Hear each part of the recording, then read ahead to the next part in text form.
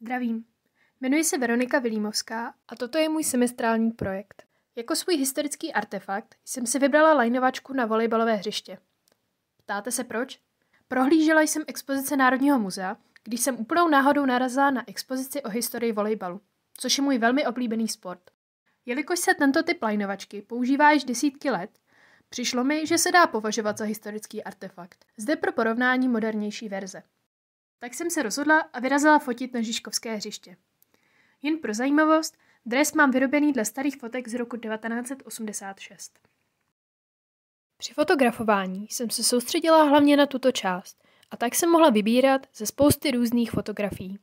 Nakonec jsem vybrala tyto dvě. Po ořezání a úpravách samotných objektů jsem přidala linky, stíny, prach, text, malá úprava barev a první část byla hotová této části jsme měli za úkol provést tři různé typy vektorizace. Automatickou, obkresem a překryvem. Nejvíce času jsem strávila asi u vektorizace překryvem. Za to automatická vektorizace je rychlá a vypadá velmi efektně. Vektorizace obkresem mě bavila asi nejvíce.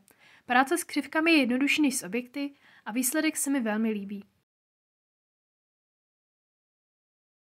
Jelikož lajnovačka nemá nikde na internetu žádné plány, a nemohla jsem si ani dojít změřit kvůli začínající zimě, musela jsem si pomoct svými fotografiemi, které nebyly úplně přesné.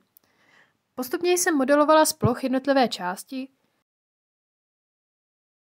přidala barvy a textury a tak to tedy vypadá výsledek.